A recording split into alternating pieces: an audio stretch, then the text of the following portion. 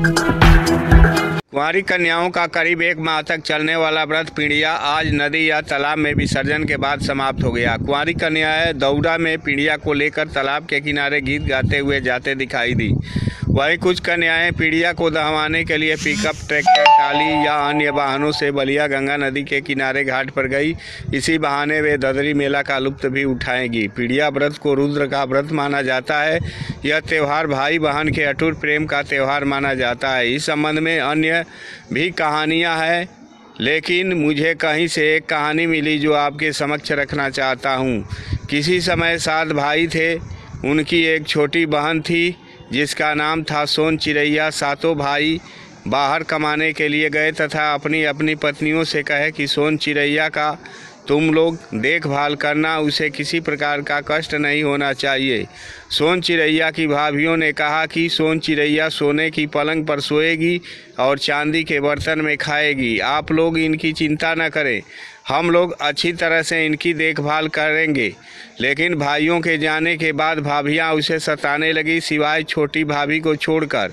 एक बार भाभियों ने सोन चिड़ैया को कहा, चलनी लेकर कहा कि, इसमें पानी भरकर लाओ।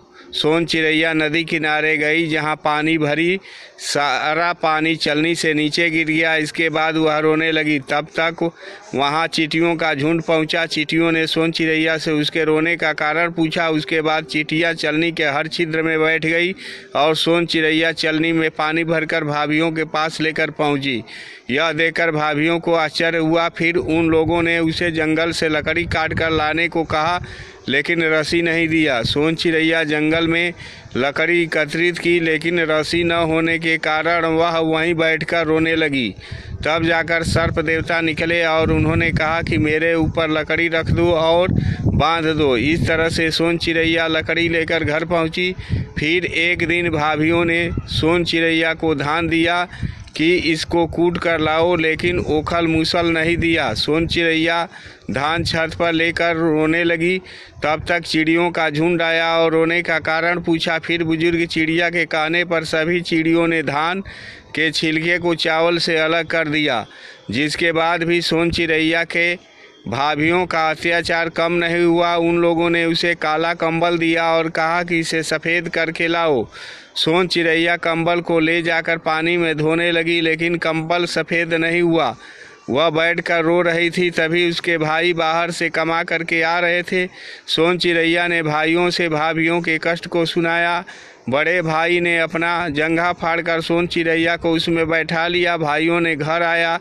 तो अपनी अपनी पत्नियों से सोन चिड़ैया के बारे में पूछना शुरू की। भाभीियों ने अनेक बहाने बनाए। इसके बाद बड़े भाई ने अपनी जंगा से सोन चिड़ैया को बाहर निकाला और कढ़ाई में तेल डालकर चूल्हे पर चढ़ाया और अपनी अपनी पत्नियों से भाइयों ने कहा कि उस चूल्हे का चक्कर लगाओ और कहो कि ताई ताई ताई, अब ना सताइब, ना हो तो बड़ हो के कढ़ाई, तार तार उतर जाई। यह कहते हुए सोन चिड़ैया की भाभियाँ चूल्हे का चक्कर लगाने लगी। छह भाभियाँ उस कढ़ाई में गिरकर मर गई। जो छोटी वाली भाभी थी तो वह बच गई। मनियर से वीरेंद्र सिंह की रिपोर्ट।